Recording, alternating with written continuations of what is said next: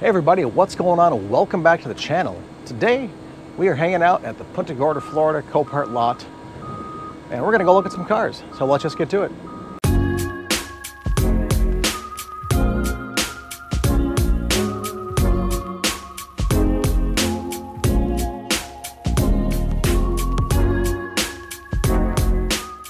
Don't forget, like, share, subscribe because we came down here to have some fun for you guys. So, yep, make it happen. Hit that button. Alrighty, first on our list here is a 2012 Harley Davidson. I'm to be the first to tell you I don't know a darn thing about bikes other than they've got two wheels. But I can clearly see this one does have some uh, front end damage on it. Forks definitely uh, took a good hit there. Looks like, uh, we got, any rim damage here? Yep, that front rim also is damaged. Rest of the bike looks pretty okay. Looks like we've got some spare parts that go with it too, so that's pretty cool. Now, like I said, I don't know a darn thing about bikes, so I'm not even gonna try to start these things up, even if they are run and drive. But, you know, you tell me, is this something that can be uh, fixed? A new fork, new front wheel? Um, is that salvageable? Like I said, don't know where to look to see if there's any other frame damage. I see maybe a chipped off paint here around the weld, so that may be indicator of some other damage, but hey.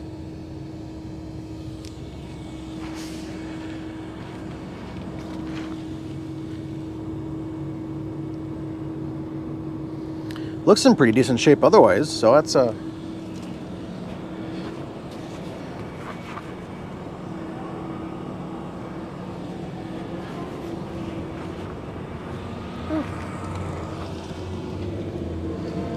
So what do we think? Let's move on to the next one. Next we've got another Harley, a 2007 here.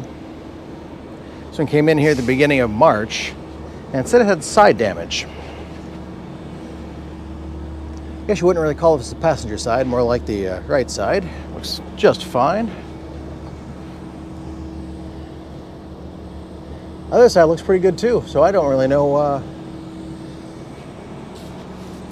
know a whole lot about why this would be here for unseen damage.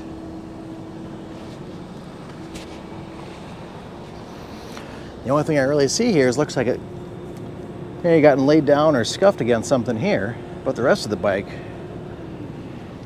you know, it's, like I said, for what little I know, this sure does look like a look like a nice bike. We got radio, we got gauges, we got everything up here. Looks like we've got a plug down here for a passenger for headsets. It's my guess. Got the saddlebags, rear bag. Looks like a pretty nice bike.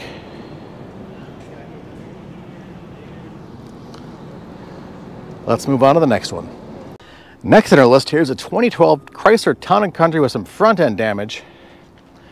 It has about 153,000 miles on it. Driver's airbag, passenger airbag is blown.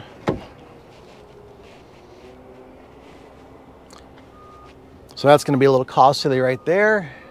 Windshield. Let's take a look around here quick.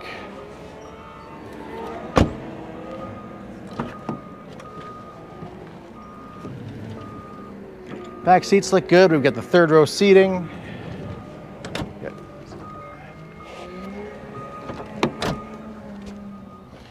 Overall, not a bad car. We were rocking the minivan down here for our vacation.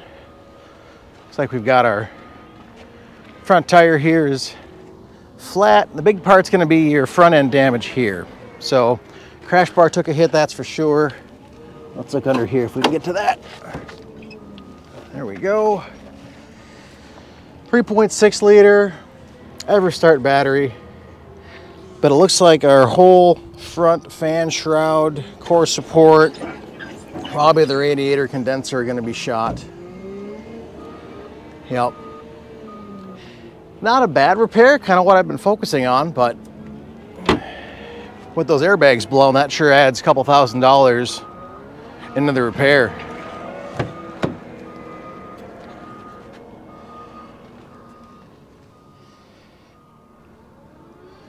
Rear entertainment for the kiddos. Not too bad. So we got a third entertainment screen back there too. That's pretty nice. Let's go see.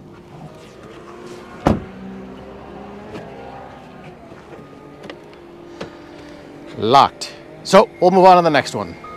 Wow, this one here is sad to see. A 99 Grand Marquis. My father drove one of these things for years for work. Airbag is blown front, driver and passenger. But hopefully everybody got out of here without any issue.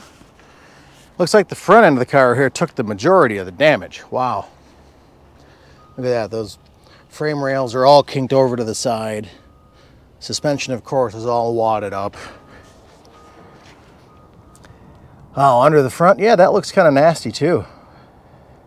Engine looks like it's pushed back.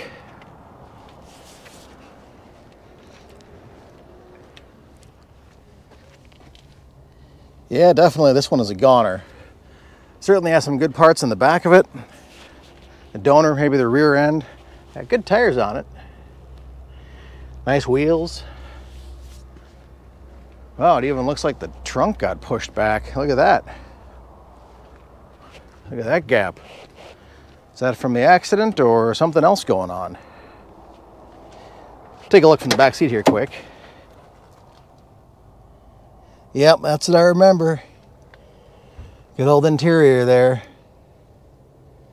Of course, we know this one's not going to start.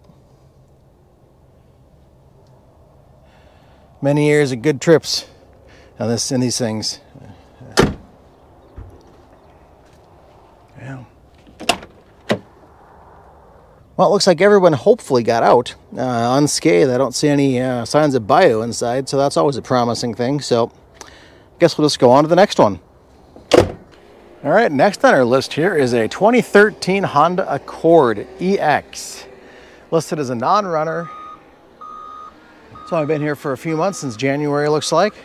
It says it's uh, minor scratches all over. Looks like we've got a broken window or a window that won't go down. No power, of course. Let's quick take a peek under the hood.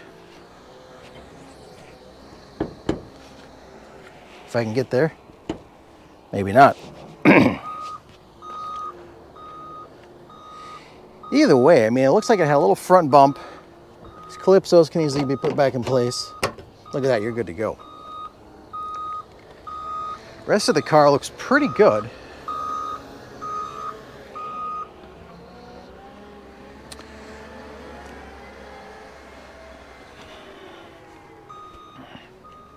Take a look inside here.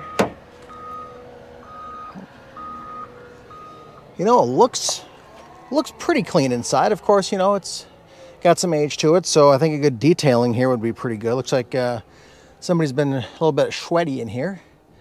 But so far, man, every car we've hit has had a not repulsive smell to it, so that's got that going for it.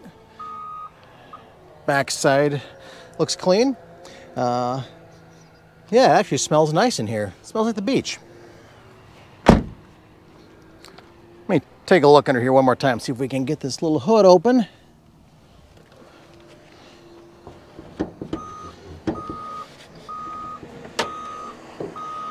There we go, look at that.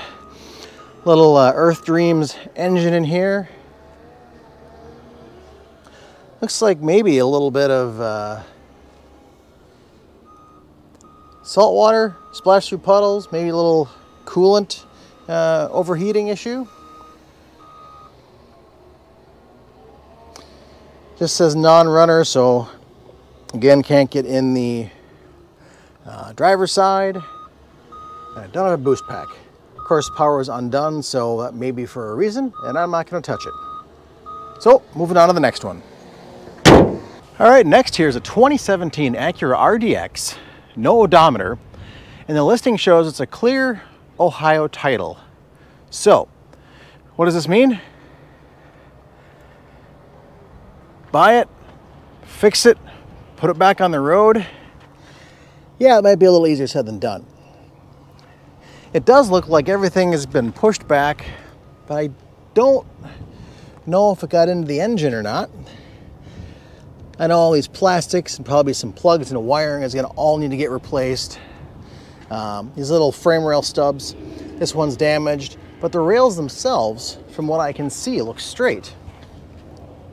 Of course, that could be misleading, but that's why you've got to come out and look at the cars versus just buying and bidding online without actually inspecting them. You never know what you're going to end up with. Now, it looks like this fender got pushed out, so the inner fender is likely tweaked or more than tweaked. Uh, but as long as the strut tower looks good, and again, these frame rails don't look tweaked, it should be pretty easy to put back together. This here, you know, do you cut it and chop it, replace it? Do you hammer it back in? Good to go. That's up to you. We do have a bunch of bags blown inside here, but not the driver's side, oddly. Passenger side, no knee bags.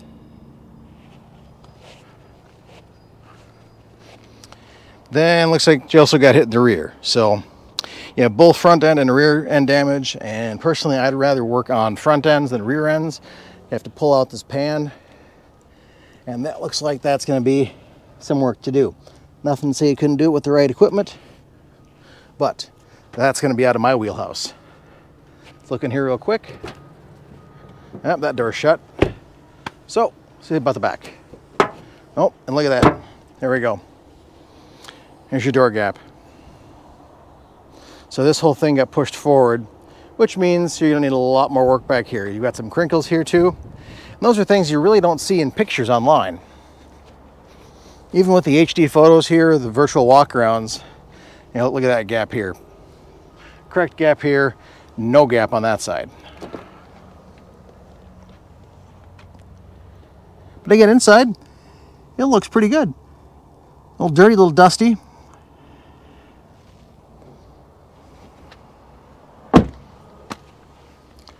Let's move on to the next one. Here we've got a 2018 Jeep Renegade, just over 100,000 miles. This also seems to have taken a pretty good lick to the front end. Listed as a non-runner. Kind of would have expected that. Aside from the boo-boo in the front, doesn't look that bad. But looks are deceiving. Under here quick, not a whole lot to see. Got uh, broken coolant stuff. Guessing everything behind here is going to be damaged and destroyed, condenser radiator, all that good stuff. Crash bar you can see is totaled. Maybe some frame rail damage, who knows. Rest of the car looks pretty straight. What we got in here. Got all of our bags in the front blown. None of the side curtains. Nope, side curtains blew too. So again, pretty good investment in uh, repairs for those airbags, pretensioners. I've not, I've not poked my head in one of these before. They look like pretty fun little cars. Uh, for me, it kind of varies away from the original Jeep. And too small for my preference as a daily, but I'm sure for a lot of folks it's a great car. Of course, we can't get in the back because it's dead.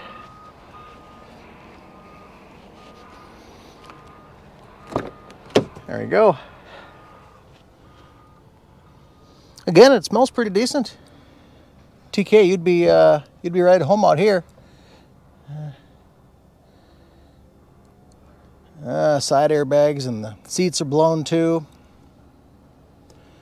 Smells pretty good. I think uh, TK wouldn't have much to complain about at all. Looks like someone spilled their beverage on the roof. It's to be expected, I guess. Anyways, what do you think about this little Renegade? Something you want to uh, tackle and repair? Or just uh, scavenge what you can and send the rest to the crusher?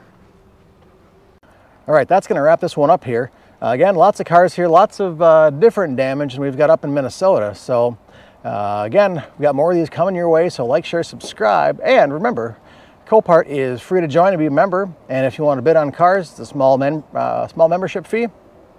And uh, lots of good projects here, lots of good parts here. Just come out and look at cars first. Doesn't always work to uh, buy sight unseen, as some of the other YouTubers have uh, well displayed over the years. So until the next video, I'm going to keep having fun down here in Florida looking at cars. Might find a hat and bottle of water, but uh, we'll see you soon. Bye-bye.